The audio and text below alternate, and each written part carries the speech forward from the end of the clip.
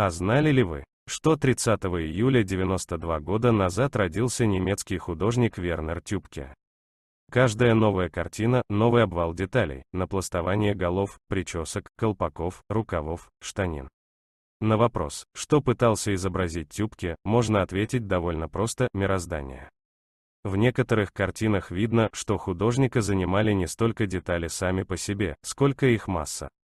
Под тяжестью деталей изгибается пространство.